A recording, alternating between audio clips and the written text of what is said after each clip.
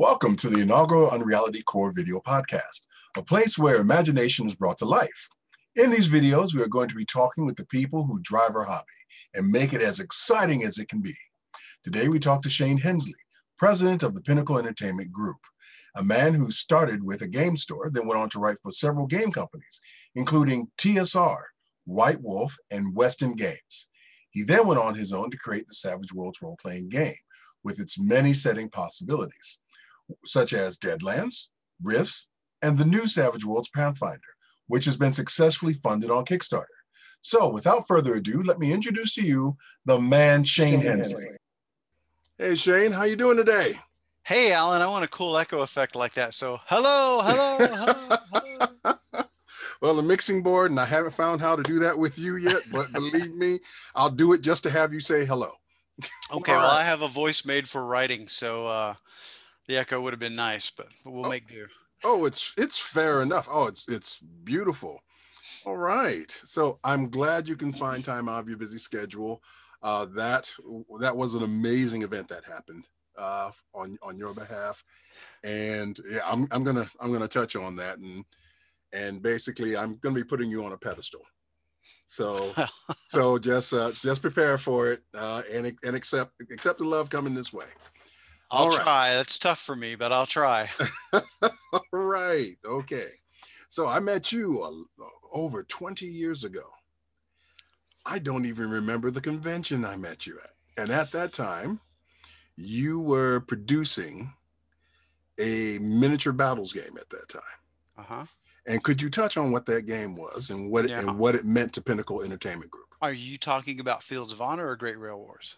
Great Rail Wars. Yeah.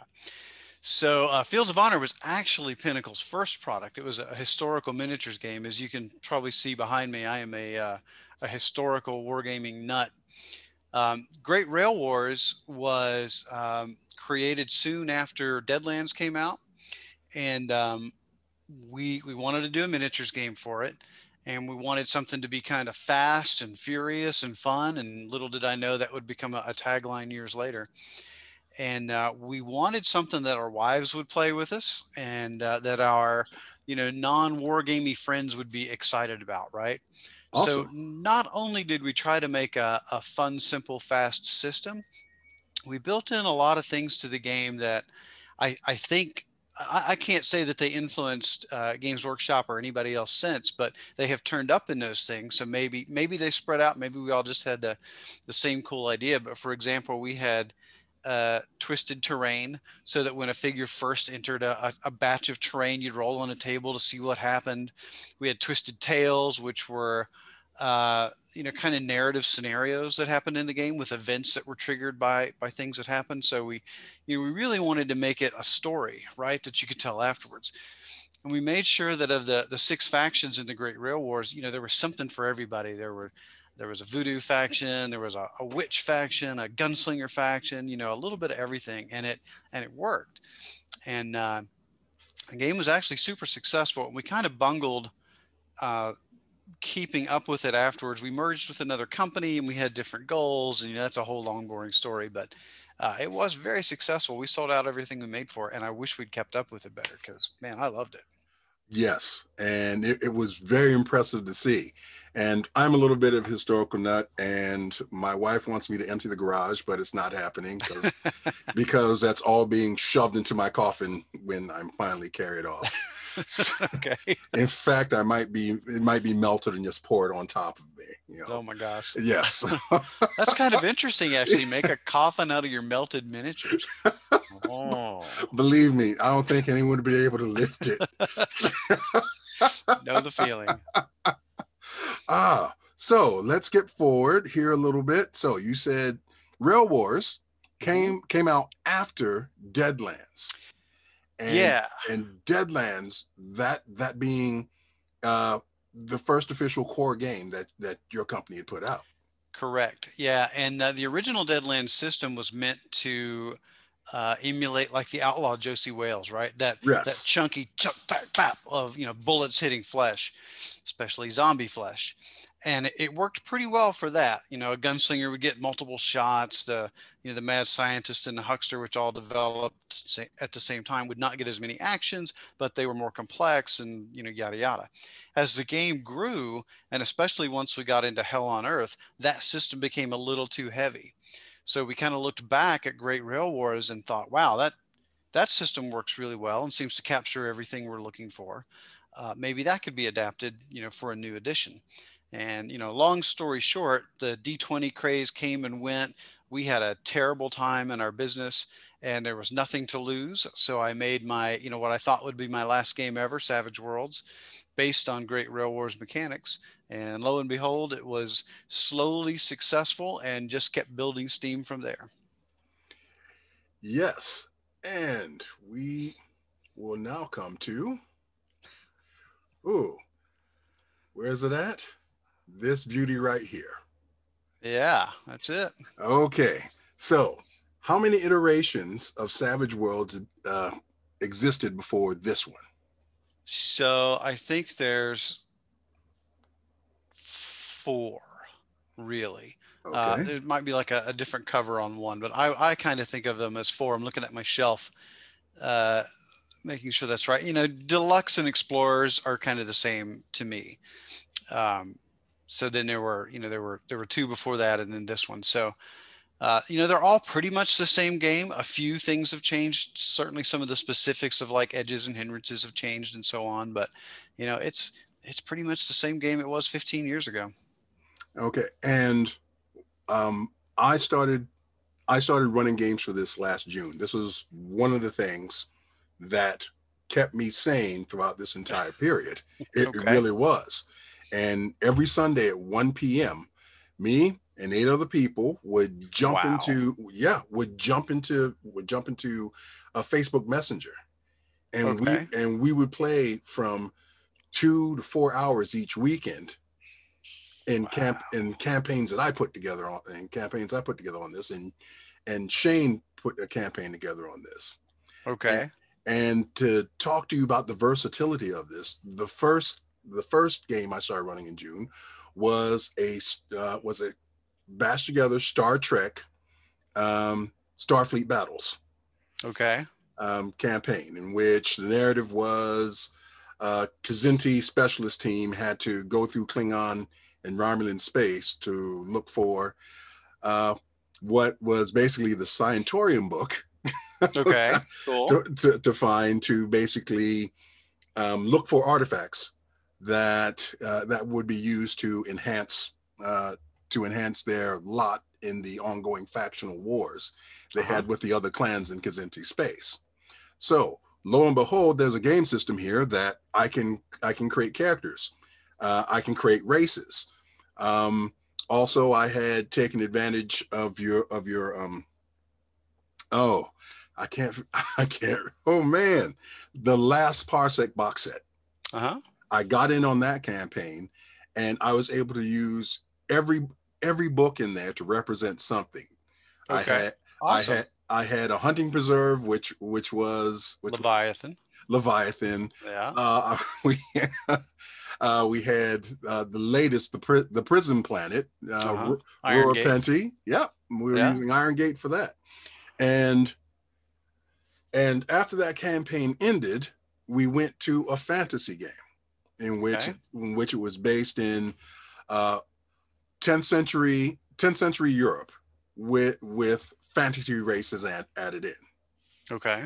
and being able to create any character to your imagination how powerful you want them to start how many how many things you you want how many hindrances you want them to have how many edges you want them to have all played out well and balanced and that took us and that took us from september all the way to last sunday Wow.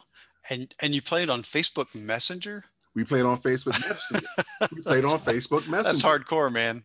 hey it's a beautiful system it's unlimited time uh, the the video and sound quality is fantastic and uh, I, I can say I we got the most use of it. Fantastic. We got the most it, and that's thanks to you. Well, I guess Facebook has to take some credit there, but Well- uh, I well, think Face- mostly it's it's thanks to you guys, right? I mean, you put it together. I just made a little tool set. You put Well- it together. Well, you made a little tool set, but um, such things like the fantasy companion, the horror companion, the science fiction companion, the um, superhero companion. Yep. Those four books, you can put together any world, and you have it clean, you have it laid out, um, and my hat's off, as well as pages 54 and 55 of this book that I have showing here, your character creation system is possibly one of the easiest systems that we can come across. So, Well, I, I think um, you know maybe for a, a game that that steps that, that I that I think tries to straddle both narrative and crunch. mhm, You know, I'm I'm glad to I'm glad I'm glad you think that because that's certainly the goal. Uh, you know, there's easier, right? Like Fate or something, but uh, you know, I think to, to still have underlying crunch. You know, that, that was our goal, and man, am I glad it worked for you. And you know, it works for us because we make a lot of different weird settings. You know, everything from rifts to necessary evil, which is supers, to you know, very low powered stuff. Like I can't wait for people to see uh, Tim Early's Holler. You know, you're just poor people in rural Appalachia. You got nothing. awesome. a bear is terrifying. Uh, and as long as the challenges are there, and that's another thing, the, the challenges are there. Yeah, you want to hear what I just ran with it? What? I ran a weird whaling one shot. Yeah, well, it turned into a three session thing, and, and everybody's having a blast. And sea shanties were sung, which is a nightmare over uh, the internet. But uh, I, I've been reading some uh, historical books la- lately about whaling, and I, I run a lot, and I listen to you know books while I run. And I just happened to get on this whaling kick recently. You know, it's a horrible, horrible industry, right? But you know, as far as like immersing yourself in uh, in it as as an adventure, it's fascinating, and uh, it, it's been gruesome and awful, and um, it's it's a little mishmash between uh, Mutiny on the Bounty and uh, In the Heart of the Sea, Moby Dick. Yes. So yeah, it's it's been terrible, terribly fun. Terribly fun. And that's Yeah. just it. The entire goal of any of any game that you involve yourself in or immerse yourself in, the goal is to have fun. The goal is to have fun. And what this system allows that I've seen so far is that is that you can go as heavy narrative as possible and the mechanics don't get in the way and mm-hmm. very easy to learn.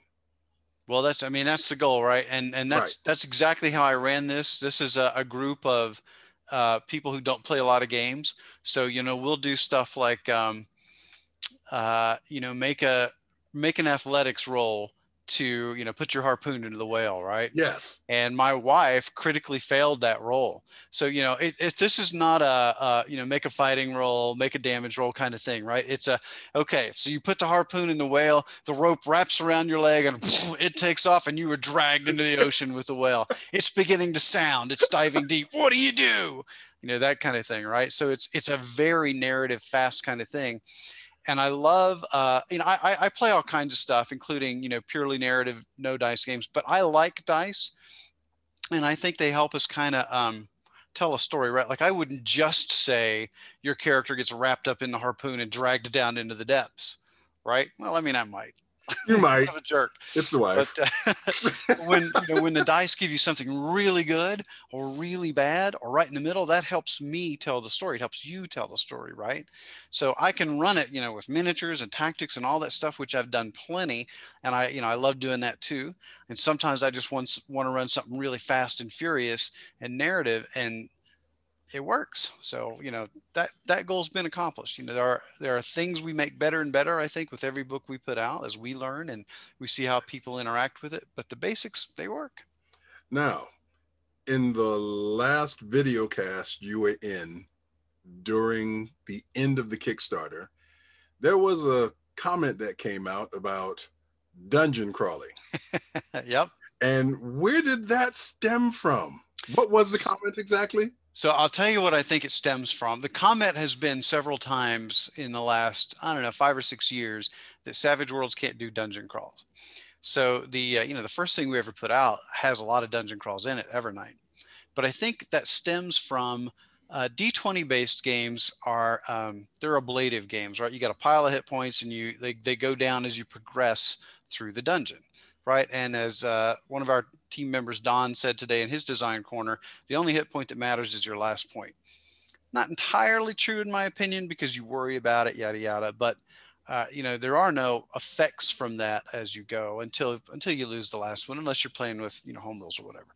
So dungeon crawls are about wearing the party down both in resources and hit points until you get to the final boss and you know how much can you save? How much resource management can you do? And so on.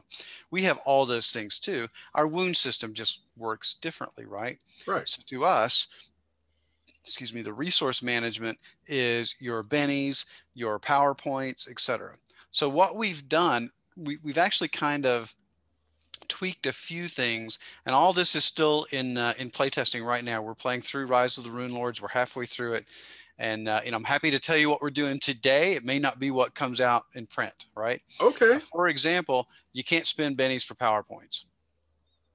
Okay. It is just what you got is what you got. You can rest. There are some edges that let you get some of that back, and we're playing with some other ideas. But generally, you know, you got what you got. So you can't just be casting protection and deflection in every single fight you go into. Get it back with. Benny, amp up everybody's defenses. Right. You got to think a little bit more. That alone really hits that dungeon crawl trope that I think people are looking for from D20. Add add in, you know, 30 other things we're doing that don't they're not really changes to the game. There's a few changes here and there, like dispel in SWADE is a seasoned spell, okay, or a seasoned Right. rank spell. We need to bring that down to a novice rank for the world of Pathfinder. So we would think of it as a setting rule. Okay, it's not because there are no setting rules in Pathfinder since it's got the rules in the book, right? Right. but in, in savage worlds or savage worlders terms it, it's a setting rule so you know that's important because there are so many spells going off in this game that having a dispel a little earlier for example is a big deal in combats right so little things like that make big changes throughout the game and that's the kind of stuff we're experimenting with and still nailing down and i think we're about i think we're about 80% done with all the little tweaks we want to make just for Golarion Just for the Golarion. Mhm. And I can't wait for the box set. Uh, when I first got involved with this Kickstarter, I had said, okay, all, all I need is just a book. Let's let's go with that. And then I kept looking at what comes in the box set. So then it's like, yeah, let's get the box set. well, thanks, man. Dinner is Yeah. on you. Yeah, let's, let's get the box set. And then it was coming close to the end, and it's like, you know, for Origins, I want to go ahead and put together an intro Pathfinder thing, and it'd be great. Excuse me, an intro Savage Worlds Pathfinder thing. It'd be great if I have pre-generated characters and an adventure all set together. So then it's like, uh, let's get the other box set. Yeah. Sorry, buddy. yes, I'm the worst salesman in the You world. are- Right? I just want to play the game. you and will play the game as much as I want to. They used to push me out of the booth at Gen Con because I'd just give stuff away. And, you know, we got to make house payments too. But, Yes. you know, I just, I know this sounds um, maybe a little glad handing, but it, it is true. And, you know, if you know me, it's just the case. I think of everybody who plays their game as just a big community that I want to play with, right? I would sit down and play with you tomorrow. You don't have room in your eight person group. Yes, I do. If you want to come, in fact, I'll kick people out. I wouldn't want that either. Hey, I'm But- hey, I'm going to the new Shane. Bye. Sorry, other Shane. Other Shane, you're gone. But that's and, and you know I'll tell you what too. Just as a, as a quick aside, I've worked for a lot of other companies in my career, uh, and you know the vast majority of gamers I've met in all of them have been great. But the communities are different, and I don't know what it is about our community. I don't know who sold what soul where, but man, we're just so lucky. We have guys like you and you know, I could name, I could sit here and name 30 people I've played with, you know, through the years that I would name, that I would, you know, game with in a weekly session at my house tomorrow. We're just so lucky like that. So, And you're Thanks. lucky enough to have a to have a family that can that can spare you. to come Yeah, to, well, to do these things. That's true. That is true. Okay, so other than uh, congratulations on on getting past that four hundred thousand mark, Thank you. that uh, that that should be somewhat of a testament as, as to Well, it's fascinating, right? Because both the Savage Worlds core rules, Rifts, and um, Deadlands did more. But this is what's really interesting. Um, Rise of the Runelords, when you look at the comments throughout Facebook and, and uh, like our forums and stuff, people have played Rise of the Runelords three and four times. Right. So I think for a lot of people, it was, man, I'm, I'm anxious to get in on this. I'm not going to do it with Rise of the Runelords because I've already played it three or four times. What's next? So we got a lot of, you know, what's next? Is it Kingmaker? Is it Iron Throne? You know, whatever. Right. And we want to do all those things. So uh, I, I'm really excited to see where it goes from here too. And I think, you know, right now we're appealing to Savage Worlds players, existing Savage Worlds players. We're not looking for Pathfinder players, right? Those guys play Pathfinder. Awesome. Keep doing that. What we are looking for, though, are fantasy gamers who have maybe haven't played a lot of either of the two games, right? Right. That, that pull, that's who we want to pull in and say, hey, try this. okay, okay. Well, when you took this Yep. and turned it into that, Uh huh. um, there was a lot of buzz in my community. I've got about 136 people on the page and people I've met over the past 20 years in doing this gaming and convention thing Uh huh. uh, that are excited for this. And I have also done a lot of, con- I've also converted a lot of people over. And people saying, uh, well, soon I'm going to be running my game. Okay, what system are you using? Oh, I'm using Savage Worlds. It's like, oh, all right, sign me up. That's awesome. Let's do it. And and this is where it comes to what your game offers over the others versus other sandbox games. And I'm and I'm not picking on sandbox games. These these other games are great. I love how how you how you basically started integrating these things that uh, you integrated uh, Rifts. And uh, i have to tell you i'm going to be buying that box set possibly this weekend. Okay my wife might be in the next room. I got headphones on. I don't know if she's going to pop in. Another one? But but I- I'm, I'm going to be getting getting the Rifts box set. But if you've ever if you've ever played uh, a Palladium game, character creation can be a bit challenging because there's a lot of stuff to go through. I've only got to deal with what two, three pages, and yeah, and Rifts is definitely our most complicated game, right? I mean, Kevin's Right. just got so many years of history in there, and you know, Rifts is literally a kitchen sink kind of setting. So you've Right. got BioWare and cybernetics and supers and you know everything in the world in there. So there's a lot to cover. there is I- a lot to cover. Yeah, so uh, streamlining that down was definitely a challenge, but I, I think the guys who did it, you know, I was just a part of that. I didn't write it myself. Uh, I think they did a great job, and Yeah. Kevin's happy with it, so we're happy. and that was and that was very very well done I, I was so glad that i did invest in it and uh, i did buy initially uh, the three books and then the box set came out and i gave those three books to a friend saying here run a game. I'm getting the box set. There you go. and and um to see to see it compared versus uh d20 games. Um no i'm not putting down d&d 5e but there's a difference between a beginning level a beginning level savage worlds fantasy fantasy character and a beginning level d&d character.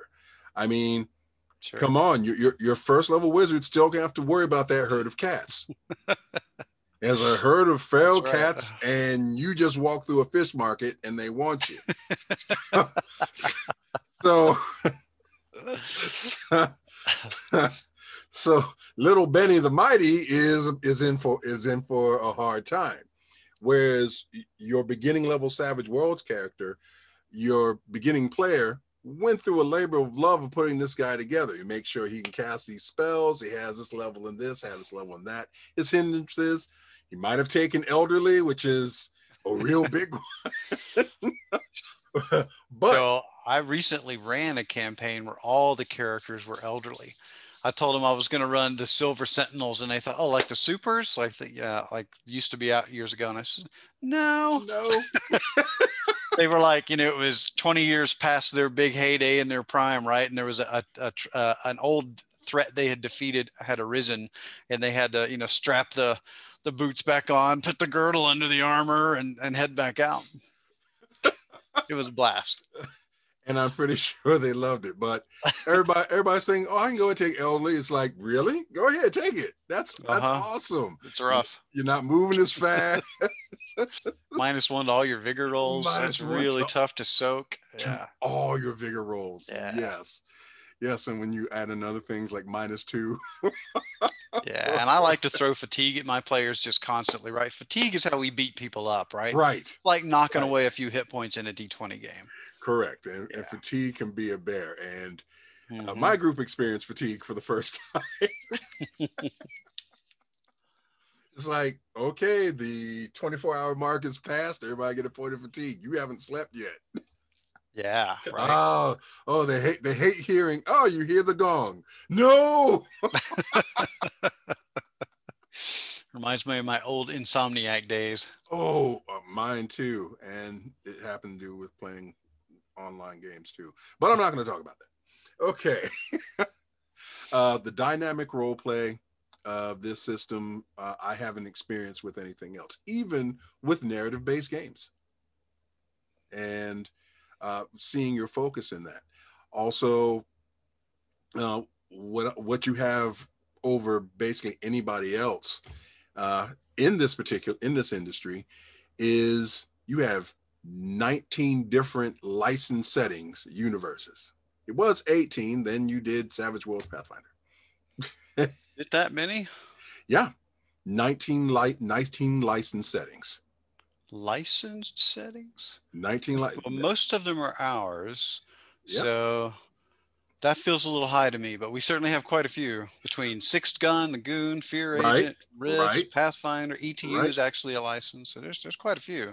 Yep, I I Yeah. went to your I went to your site and I counted them. Okay, Okay, yes. boss. oh, you're the boss. And support that you have in place for players, GMs, and designers.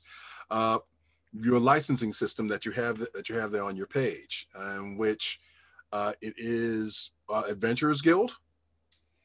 It's the Savage World Adventurer Guild. Yes, a swag, and that is only on drive through.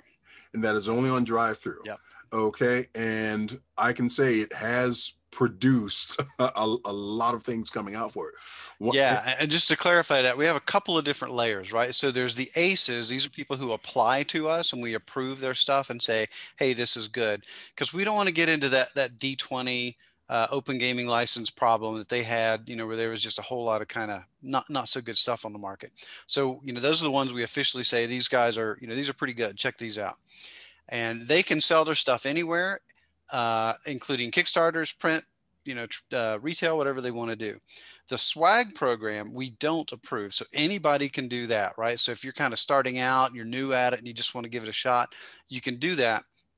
And drive through has the mechanisms to support that, put it out there, market it, and then uh, we get 10% of whatever you make. So it's, it's a very small royalty, right? But it's it's just enough up there, we think, to make people take it seriously and realize that you know this is uh, something you should be professional about. And I don't mean you got to go out and hire you know Brom to do your covers, No. right? But you need to Oh. you need to consider the customer, right, and make sure that they're getting something worthwhile for their money. Okay. Now, do you personally go through every product that they throw through there? No, no, I don't Oh. see any of them. Hardly any of them. Hardly any of them. Okay. They are. It is is an automatic system, and they're just out. When I see uh, people talking about something on like our Facebook page, generally, that's when I'll go grab them and check them out. There's some good stuff there. Oh, good stuff. Well, Yeah. uh, I went through DriveThruRPG, and you have 2,992 products supporting Savage Worlds Wow, on DriveThruRPG. I had no idea. That's a lot. Yes, 2,992. That's a lot.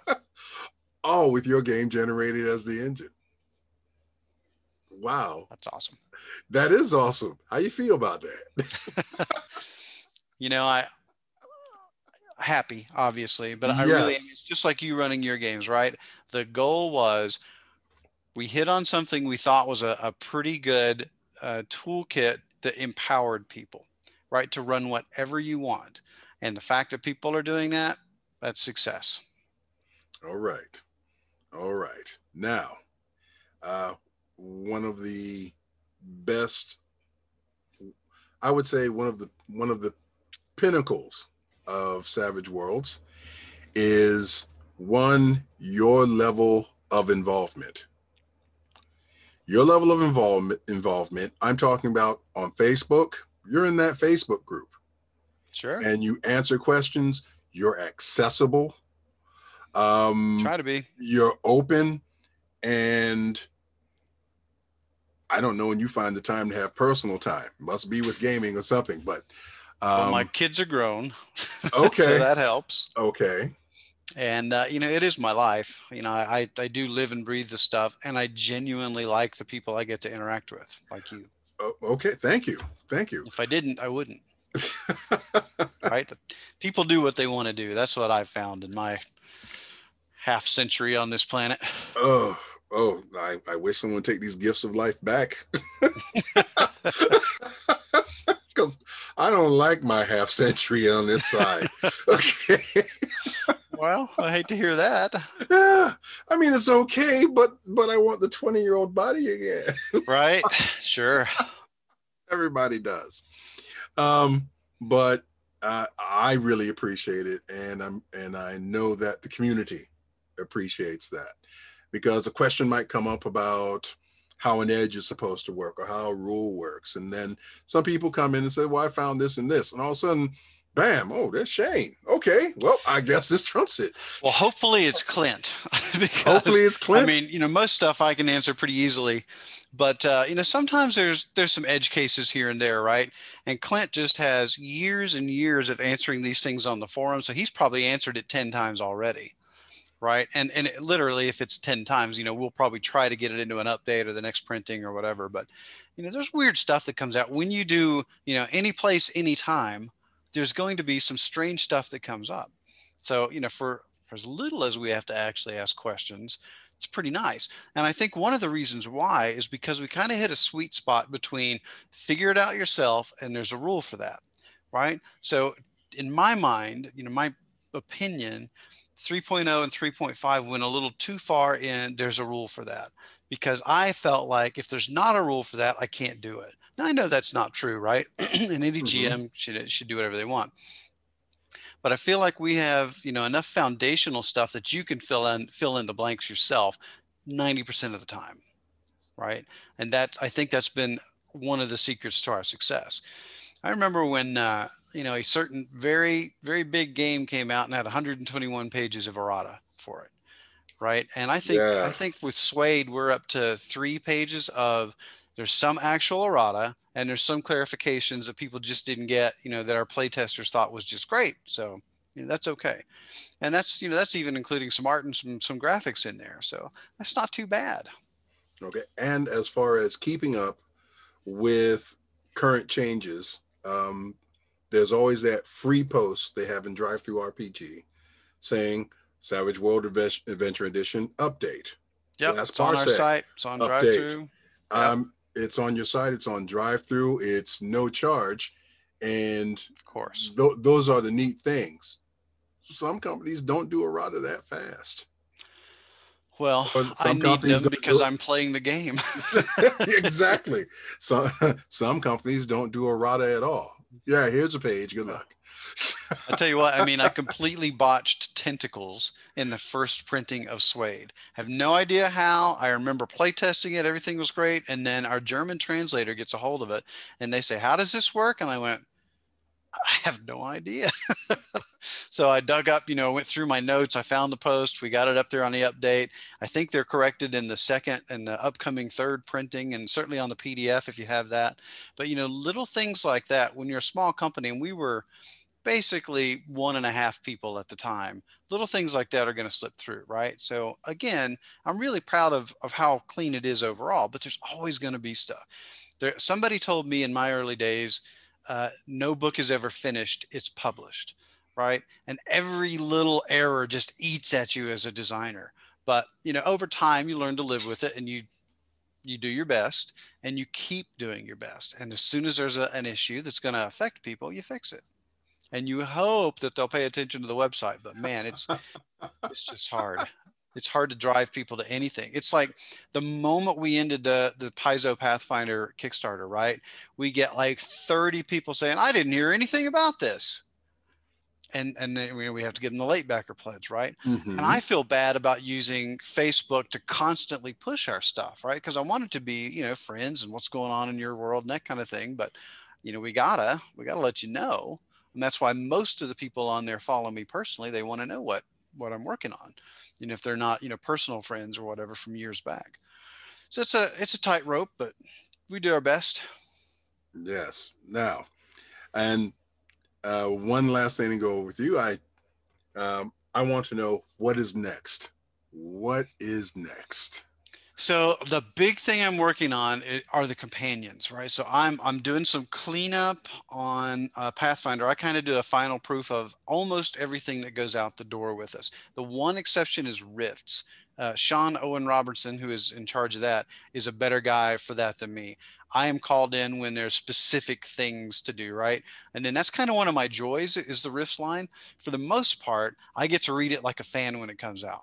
Yes. Right. Okay. So I'm helping with the mechanics and stuff that I've got, you know, a little more familiarity with. And then, you know, the background and story stuff, I get to read mostly like a fan, excuse me, with a few exceptions. So finish up Pathfinder, do my final proof there, and then I'm on to the companions. And figuring out what our fantasy companion is versus what Pathfinder is is one of our big challenges right now, right? We know we know quite a bit of it. Um, there are some things we're still figuring out, like we've got a really comprehensive bestiary for Savage Pathfinder. Yes. How much of that gets duplicated in the fantasy companion, right? Because if you're a true fan and you buy both, we don't want to screw you and make you buy the same content twice. But if you only buy one, we want to make sure that you're not missing, you know, important stuff, orcs, dragons, you know, whatever from the other one. So that we're wrestling with a bit.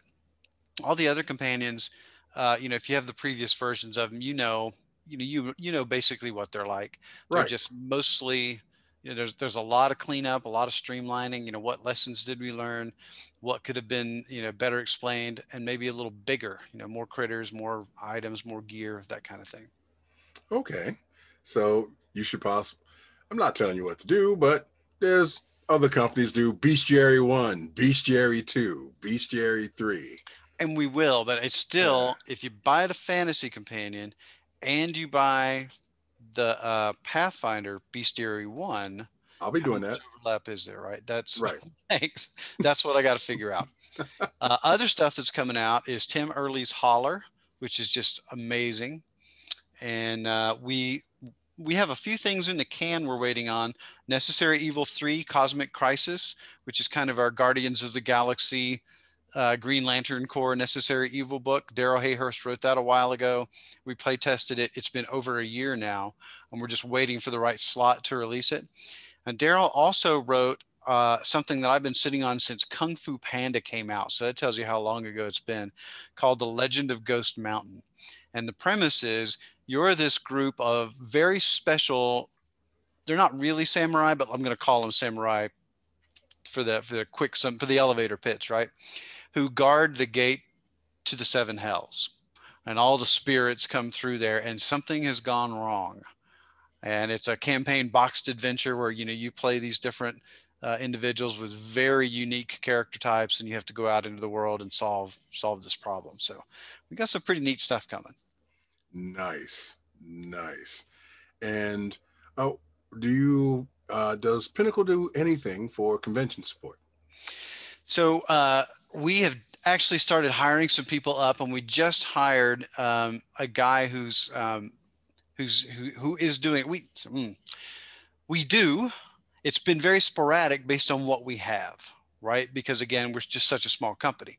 But now that we have, you know, a full-time guy who's handling our marketing and convention support, and hopefully uh, living games and so forth in the future, he is putting together a plan to do more than we have before. So yes, I think we will be able to do more very soon. but we're also kind of waiting to see what conventions look like, you know, this year as opposed to next year and so on. I figure next year they're back to normal. I think Right. this year, who knows? And we've run our own virtual conventions too, like uh, Halloween. We did where people come and, and play, you know, online games with you know me and a whole bunch of other people. So we'll do more of that too. Okay. Well, uh, I guess that that's all I'm going to bother you with tonight on your Friday. Not a bother, buddy. You know, it's good to see. you. I feel like I feel like I haven't, you know, I haven't seen you in in twenty some years, and I know you mostly these days from Facebook, right? Okay. And, and when you popped up, I said, "Oh yeah." Not sure which convention, but okay, know that guy. I'm real good with faces, right? So when I see faces, I remember. Names are, are tougher, right? But uh, I don't know. Conversations like this, I feel like, like you know, we haven't missed a beat. So no. it's good to me. I enjoy these. Okay. I'm, I'm glad you do. Hope to see more of you soon in the future. Ditto. Uh, maybe we can sit across from a table. You know, we have uh, one of the things we're doing. We're doing a lot of games on Twitch. I would love to get you on there. we we want people who are entertaining to watch, Okay. and you you just exude enthusiasm. Man. Just a little. Just a little. That's what it's all about. That's what our whole hobby is about. yes, yes. And you guys were the driver, and your stuff was the driver that that kept me going. Believe me. Ah, up to June, it's like, let me open up this Kickstarter I bought back in back in 2018. Whoa! Well, awesome. And and I'd like to thank you for your time in your busy schedule. Congratulations again on the combination. Thanks, buddy. of Pathfinder and Savage Worlds, so Savage Worlds Pathfinder, and I'll I'll be looking for more of your stuff in the future, and uh, I can see what I do to keep driving the game. And thank you for coming to our to our inaugural video cast. Thanks for having me, Allen. I appreciate it. All right, and that was Mister Shane Hensley. Well, that's it for this interview. Once again, I'd like to thank Shane Hensley for taking the time out of his busy schedule to do this interview. It was a lot of fun, so thank you, Shane. If you're interested in any of the games or settings we've talked about, we'll provide some links where you can find out more in the comments of this video. If you'd like to see more of these videos, don't forget to like and subscribe to our channel by clicking the bell and then all alerts so YouTube will let you know when we upload new content to the channel. We'll be not only talking about the leaders and drivers of the tabletop gaming hobby and miniature painting community, but we'll also be reviewing miniatures, board games, 3D printing for gaming, events, and also delivering to you instructional how to's to get you started in this creative, fantastic hobby. I'm Allen Blount, and you've been watching the Unreality Corps.